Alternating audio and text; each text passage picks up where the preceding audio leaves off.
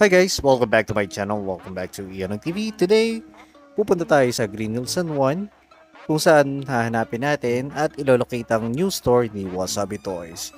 So, let's check at magtanong tayo sa security guard inside.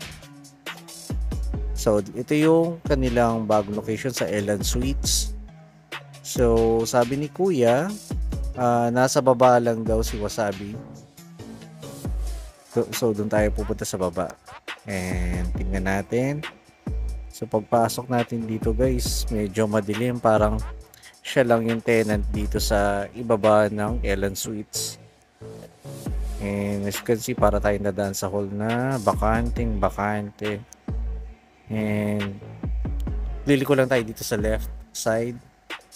And as you can see, ayang malaking pinto niya si Wasabi Toys. So ito yung kanilang new store. So, same old display na naka-display din sa may loob ng Green Hills. And ayan na nga yung kanilang mga kits na available sa kanilang store. So, ito yung mga figurize, re-rise kits, HG, entry grade. And we have this uh, Kamen Rider, Kyokai Senki, Dragon Balls, at iba pang kits na available nila. Yan, meron sila ding Batmobile ng Batman version 3.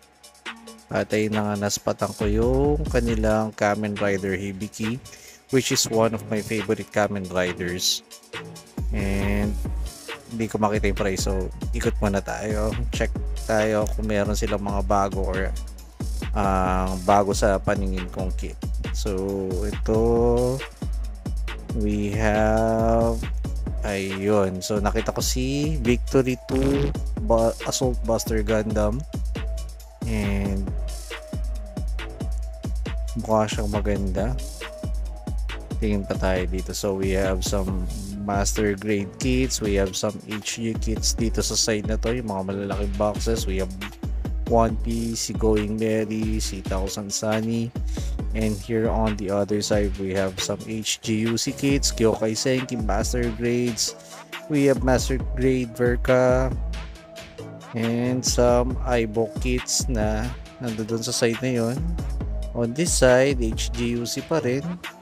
So ito lang yung kanilang mga kits na available.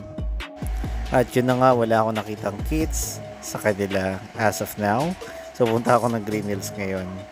And that's our video for today. Thank you for watching guys. Don't forget to like share and subscribe here on my channel. It's Ian ng TV thank you for watching guys and have a great day